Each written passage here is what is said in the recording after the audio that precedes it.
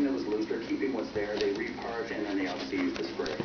Yeah, I saw they're Yeah. doing it